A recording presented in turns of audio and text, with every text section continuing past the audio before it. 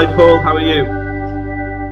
Hi, Dan. Good, thanks. Good, good. I'm glad to see you in our greenhouse in uh, Mawdesley uh, this morning. Uh, I believe you're going to be showing us the Quadgrow. I believe you've been planting some of the plants this year in the Quadgrow. So um, just uh, I can see the greenhouse behind you. So where are you keeping the Quadgrows? Uh, if you have a look here, we've got a Quadgrow right at the back of the greenhouse with bell peppers in, and that Quadgrow's got all the add-on kits. Uh, all the optional extras. We have got another Quadgrow. Uh, this is the one we took to the garden press event. Um, yeah, this is just the standard Quadgrow without any of the uh, the add-ons. You can see we've already got ripe fruit uh, in there. So which, which which fruits are they? Uh, that one's redskin. So there are four dwarf sweet peppers, uh, three redskins, and we've got one mohawk, which is a yellow one. Uh, that's just at the other end. See, there's plenty of fruit coming on there now.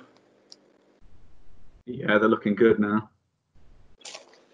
Very good. So the actual quad Quadgrows themselves. I mean, how long did it take you to assemble them? Is is it fairly simple? The steps to, to take to to set them up? Yeah, it all comes in one box, and there's just two reservoirs, two support trays, a couple of tank covers, and four pots. So about five to ten minutes to set up, and then a little bit of time just to plant your plants up afterwards and sit them on the Quadgrow. Just oh, need a flat good. surface, really. Just a flat surface. So how does it actually work? So you've got the reservoir in the in the base of the planter, and am I right in saying it pulled the feeder mat pulls the water up to the plants?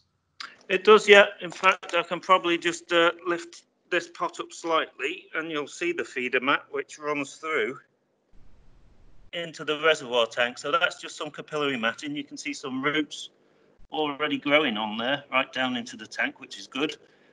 Um, yeah, and it just uses capillary action. It draws up the nutrient solution from the reservoir and keeps your plants nicely watered and fed. Brilliant. So you mentioned before that the Quadgrow comes with some optional add-ons.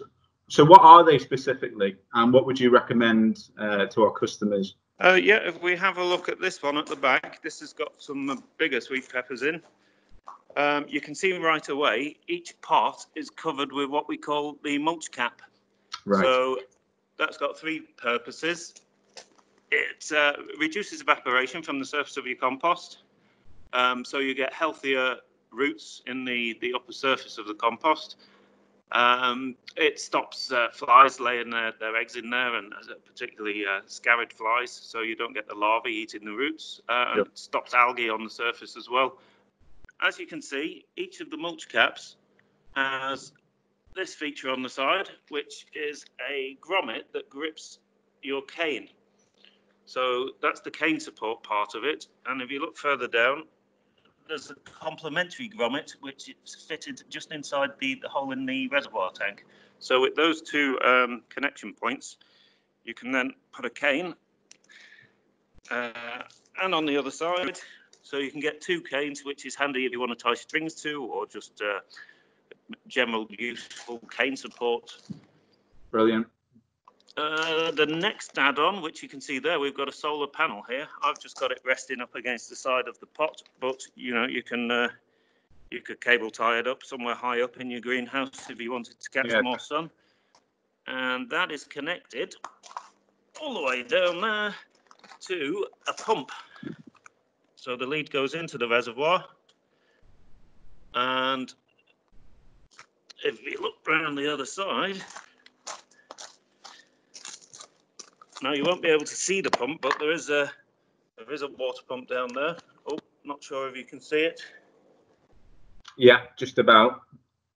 Yep, and that's connected to this manifold here, which screws into the side of the reservoir, and it has these eight dripper lines coming out from it. So if you follow those around, each of the pots has two drippers. Right. There we go, there's one of them. So when the sun comes out, it powers the solar powered pump, which pumps the nutrient solution down the dripper line through the dripper so the plants get drip irrigated um, which gives them the extra water and food that they need when it's sunnier. Very clever.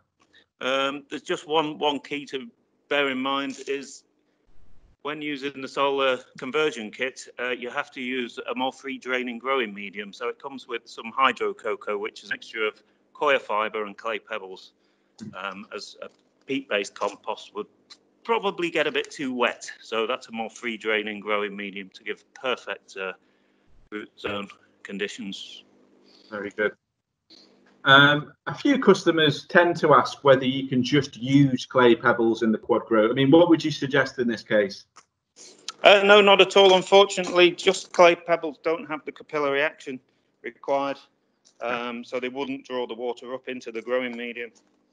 Uh, they work far better just with uh, a general multi-purpose compost, which doesn't have to be over-fertilized either, because um, the, the beauty of the system is using the NutriGrow feed, which is a complete feed. So it's actually better when your compost has run out of fertilizer, so that you can uh, then introduce the complete NutriGrow feed, and then so, the plants really, really will grow to their optimum.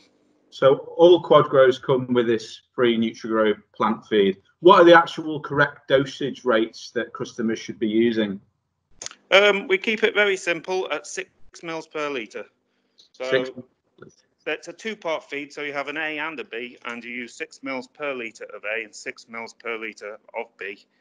Uh, and that's got absolutely everything in it that your plants need to grow in the perfect balance. Great. Would you would you ever suggest checking the pH in the Quadgrow tool? Uh, I'd say that was an option that if you're really interested, um, you can start getting into buying a pH test kit or a, a pH meter and test your pH and adjust it if you require. But um, our nutrients, the NutriGrow is formulated so that uh, with most people's tap water, um, it will lower the pH to um, to about the the ideal window, which is about 5.8 to 6.8. So in most people's water, with the right dose rate of NutriGrow, it will adjust the pH to be within the uh, the correct window anyway. So um, that's something for uh, enthusiasts to get a bit more uh, into the hobby that they could start uh, tweaking their pH for, to really optimize their growth. But it's not necessary for, for normal conditions. Fair enough. Fair enough. Just quickly back onto the feeder mats you showed us earlier. How often would you say that customers should replace them? Uh, generally, you'd use fresh ones every season. However, you, you can reuse them. You just have to get a very stiff brush and uh, give them a good clean and get mm. all the root out at the end of the season. Um, and they they might be um, you might get a second season out of them, but uh, generally it's best to use fresh ones each season. Yeah, great. Well, thanks for your time, Paul. I'm sure a lot of our Quadgrow customers and potential Quadgrow customers know a lot more about the product now and uh, be more interested to buy. So I appreciate the time you've given us in the greenhouse this morning, and um, yeah, I can see those other planters in the greenhouse. Maybe we'll we'll have a time sometime in the following few weeks to, to discuss some of them. I can see that's the duo grow. That's the duo grow just there. Yep, that's got yeah. some uh, bell peppers just setting fruit on there. There's quite a large one. Very good. And there's a few Vivi grows in the back. Um, Oh, there's just one other thing I can show you that's an add-on that we didn't mention, um, which is the water butt link kit. So yeah. if you just look through this entrance hatch, you'll see in there is a float valve. Right. Yeah. Just see. I've just set that up, so it's not quite yet connected. But if you follow the uh, the tube, that goes all the way to the water butt. And once I've filled my water butt up, That'll go on there. And with the tap on, once it's full, that will keep the reservoir topped up in the full position as long as you've got water in your water butt and that'll enable you to go on holiday safe in the knowledge that all your plants are still going to get fed and watered. Brilliant, brilliant stuff. Great. Well, thanks again, Paul. Appreciate the time. Okay, no problem. Okay.